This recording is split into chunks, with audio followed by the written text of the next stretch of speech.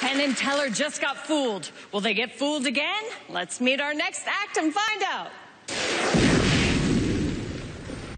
These cards become unshuffled. I'm so excited to be back. Did I fool Penn and Teller? This last time on the show, the experience was very nerve wracking. I mean, it was tense. It says, Paul Gertner, you fooled us. Can you see that?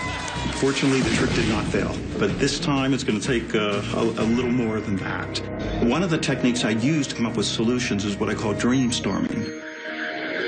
It's planting the, the problem in your head as you go to sleep, and your subconscious works on it. It's basically dreaming up solutions. When you wake up, ideas come up that you didn't have before,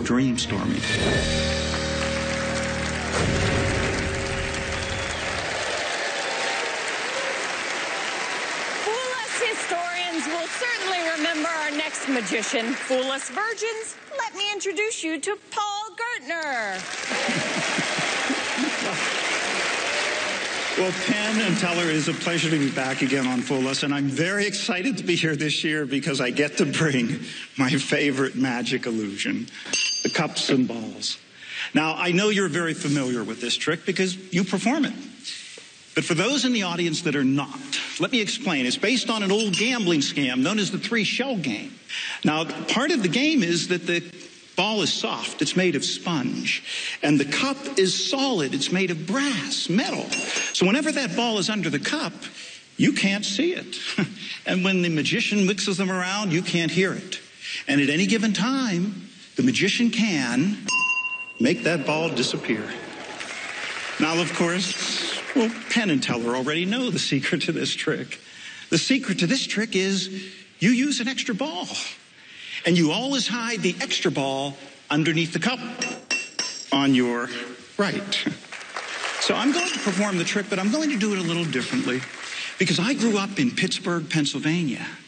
And in Pittsburgh, we manufacture steel.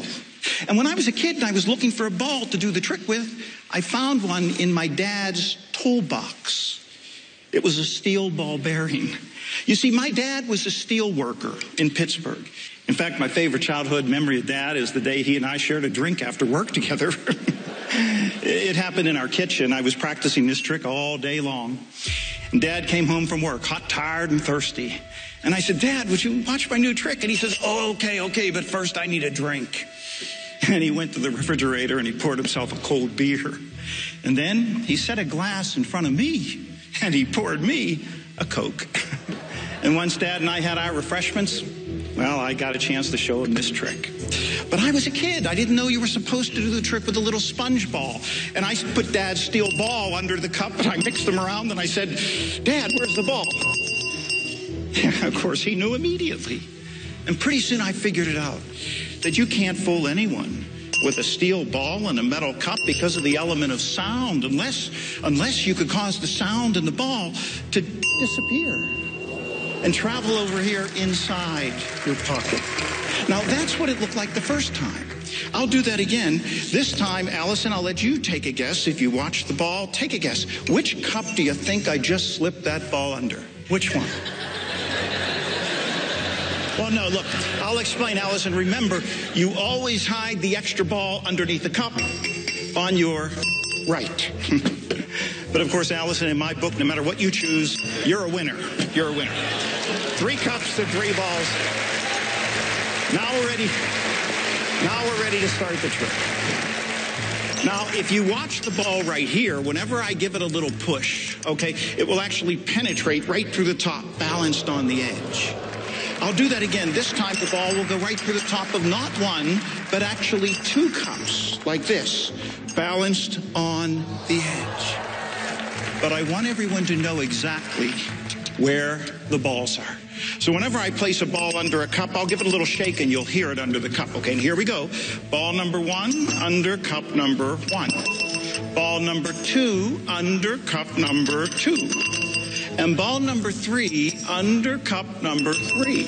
And if I take two of them invisibly and I set them on the middle and I give them a little tap, you see now these two are empty because they've all come together in the center. Thank you. Thank you. But you know, it is the end of the trick. And when I do this at trade show exhibits, this is the part that gathers the biggest crowds, so watch closely. You see, I actually take the ball out from under the cup and I say to somebody, watch, I'll remove one ball from the game, like this. And then I put it in my pocket. And then I say, look, if I, if I remove another ball from the cup, Penn, how many would that leave underneath the center cup? One. Just one, I think. Yeah, just one. But if there's one there, you see there's another over there, and I'll show you how the trick is done. You see, I never really put the ball in the, in the hand. I never put it in the pocket. But while everyone's watching the pocket, I actually can slip the ball under the cup, and it looks like it was there all the while. But if I really get rid of it, Allison, this time take one last guess. How many balls do you think are underneath the center cup? One, two, or three? For you, for you, Allison, I did all three.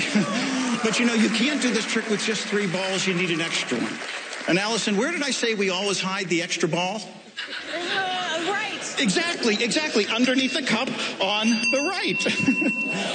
but there's another extra ball right over there, and they're both pretty big, and they're both solid and pretty heavy, but underneath the center cup is the biggest one of all because there it is. No, that's not it. That's the biggest one. But I can't figure out where it comes from. Thank you. Thank you.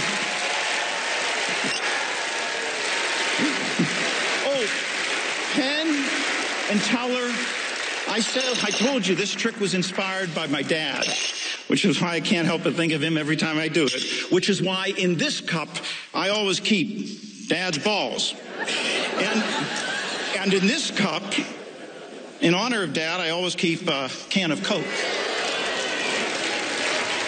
And, and in this cup, well, remember, you always hide the extra ball underneath the cup on your right.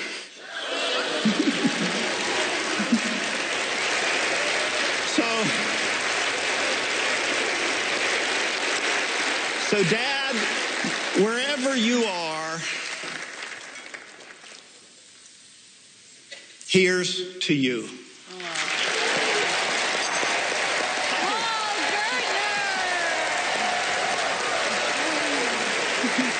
Man, you got balls. For many years. Gosh, just think like, okay, I fooled Penn and Teller. I'm, I'm done. I, I, uh, like, but you just have to try, try it twice. Well, I, but, well, this was my favorite trick, Yes. and and and I, it's just a treat to come and just do the cups and balls for them. And I just couldn't do just the cups and balls. I had to throw a little kicker in. So yeah, you seem to specialize in kickers. Yeah, well, I think um, um, all magic should have that. I mean, that's what magic's all about. It's about having that little moment at the end where someone thinks the end is there, and then all of a sudden, boom, you hit them one more time. Wow. You Okay, know? time to see if they got it.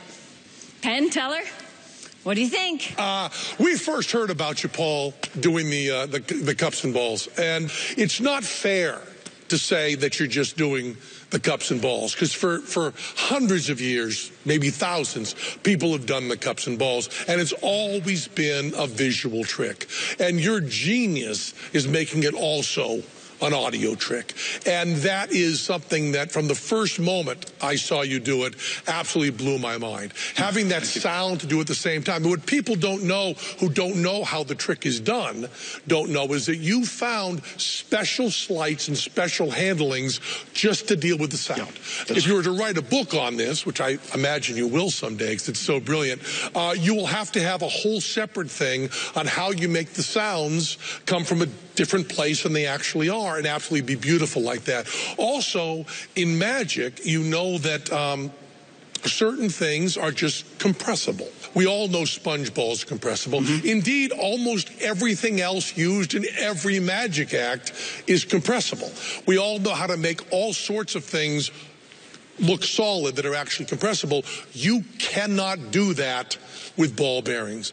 And some people would say, uh, when they know how a trick is done, that that makes the that makes the glass half half empty. But I think when we know how a trick is done, it makes the glass half full. Do you know that they know what were they're talking about? How you did it? I think so. I think they, uh, they yeah, we're talking. Okay. Yeah. Listen, it's now a tie. You get us last time, we get you this time. Season five, kick our asses. All right. Okay, thank you. you. Paul Gertner, ladies and gentlemen. Let's take a break so we can give you time to think and blink. More Fool Us when we return.